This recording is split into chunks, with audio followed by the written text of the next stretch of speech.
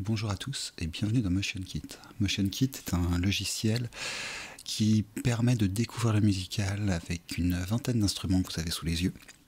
Ces instruments sont réunis en trois catégories. Une première ici sur votre gauche qui sont en fait des projets clés en main.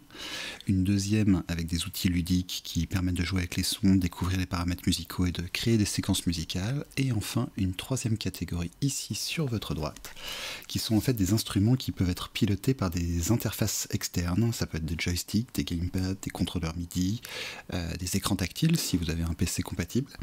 Et surtout qui permet de faire de la détection de mouvement en temps réel avec une simple webcam, ce que l'on verra dans une future vidéo. À l'ouverture de MotionKit, vous avez quatre petites icônes ici.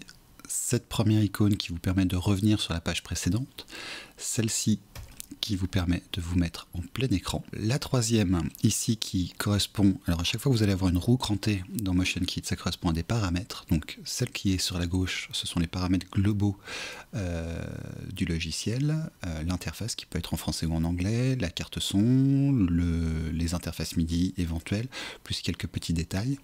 Et puis un dernier bouton pour quitter le logiciel.